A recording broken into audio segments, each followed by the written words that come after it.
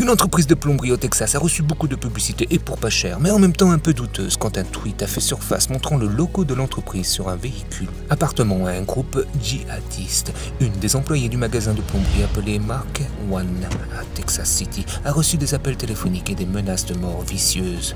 Un des véhicules de la compagnie avait été vendu à un concessionnaire s'appelant AutoNation situé à Houston en octobre 2013, mais l'employé en charge de revendre le véhicule aurait oublié d'enlever les autocollants sur les côtés des portières. Autocollants indiquaient l'adresse et le numéro de téléphone de l'entreprise.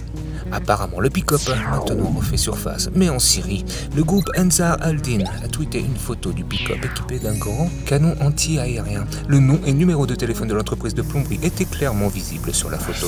L'entreprise de plomberie est rentrée en contact avec Twitter afin de faire supprimer la photo. Mais d'ici à ce que ceci se fasse, la photo avait déjà fait le tour de la toile. Depuis, une vidéo a fait surface montrant une scène similaire. Cependant, l'authenticité de la photo reste à prouver. Même si la première photo montre un pick-up Ford, la vidéo quant à elle, montre un pick-up Toyota. Il est donc tout à fait possible que la photo ait été photoshopée.